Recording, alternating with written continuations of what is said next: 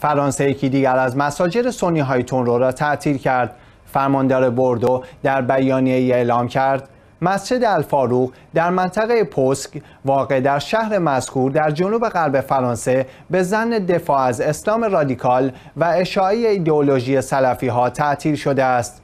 به نوشته آناتولی مسئولان مسجد مذکور متهم هستند که سخرانی هایی برخلاف قوانین فرانسه داشته و همچنین به مشروع سازی حملات تروریستی متهم شدند. فرماندار شهر بردو در ادامه بیانیه خود سخرانان این مسجد را به اشاعه پیامهایی حاوی مطالب انزجاری علیه اسرائیل و همچنین حمایت از سازمانهای تروریستی یا افرادی که از اسلام رادیکال دفاع می کنند متهم کرده است. در اوت 2021 بالاترین مقام قانون اساسی فرانسه یک لایحه بحث برانگیز ضد جدایی طلبی را تصویب کرد که به دلیل به حاشیه کشاندن مسلمانان مورد انتقاد قرار گرفت و باعث شد تا دو ماه از آن دو ماده از آن حذف شود.